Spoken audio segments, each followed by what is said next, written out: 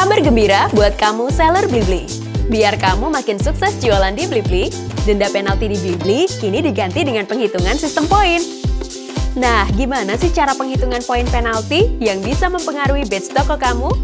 Seller yang mendapatkan penalti sebesar 6 poin, batch tokonya akan turun satu level.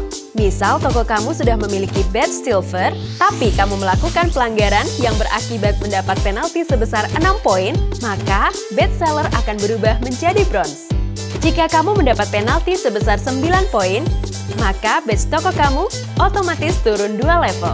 Nah, kalau sampai kena penalti 12 poin atau lebih, Blibli terpaksa melakukan suspend toko sementara atau bahkan selamanya, tergantung dari jumlah kasusnya.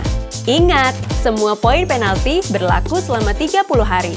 Jadi jangan khawatir, kamu masih bisa memperbaiki performa toko dan kembali mengejar batch toko kamu.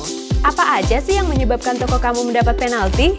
Terkena pembatalan otomatis, menjual produk palsu atau terlarang, terkena retur akibat kesalahan seller, membagikan informasi pribadi, dan pelanggaran lainnya. Jenis pelanggaran dan berapa poin penaltinya bisa kamu cek selengkapnya di Pusat Edukasi Blibli Seller Center. Kunjungi website Blibli Seller Center, pilih laporan, lalu pilih performa seller. Tetap semangat berjualan di Blibli ya! Jangan biarkan poin penalti mempengaruhi performa toko kamu.